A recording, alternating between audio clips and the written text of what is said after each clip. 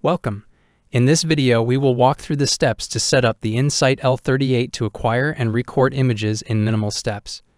Before we begin, make sure the L38 device is powered on and properly calibrated and In-Sight Vision Suite is open. Please refer to the Simple Image Acquisition, Setup and Calibration video for the steps to properly calibrate your In-Sight L38. First, we will prepare the part for acquisition.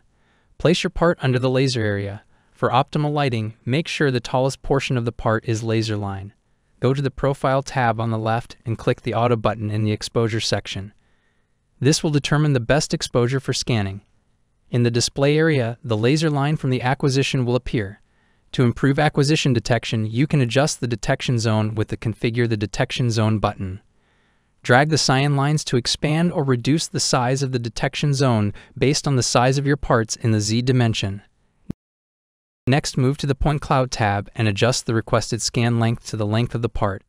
It's advised that the scan length is slightly longer than the part to add a buffer. Cognex recommends starting at 150 millimeters.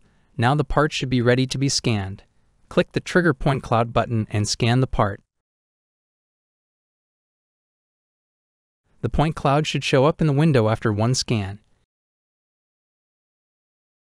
You can adjust the requested scan length to better position the scan. Next, let's become familiar with the visualization tools for the point cloud. To change the perspective of the part, simply left-click the point cloud and drag with the mouse. This will change the orientation. To change the perspective of the image, click the corresponding side of the cube in the toolbar you wish to view.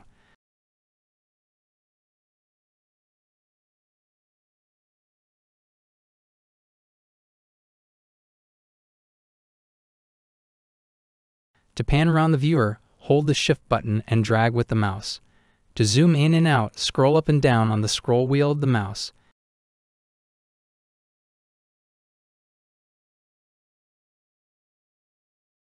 If you are ever disoriented and lose the model, simply click the Fit 3D Image to Window button and your part will reposition itself.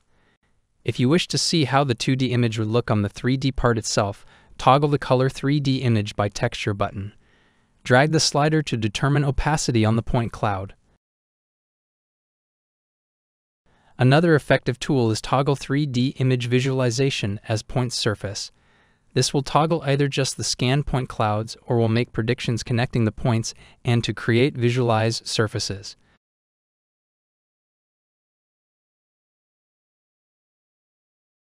Now that we can scan and change the visual aspects of a scan, we will learn to acquire images and save them to a film strip.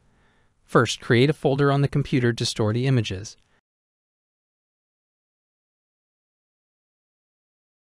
Then click the folder icon in the bottom left and select the folder to store the images. Next, click the red Record button and click the Trigger button for every scan.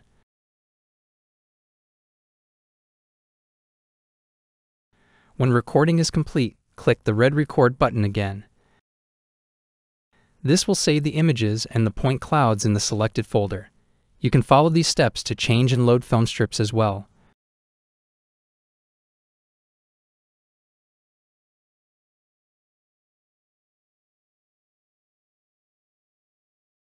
Finally, let's look at the Filter tab.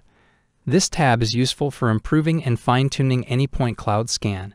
The two main features are gap filling and spike removal. Having these features toggled on will improve smoothing out the scan. Gap filling can help fill in any points along the profile in areas that are missing.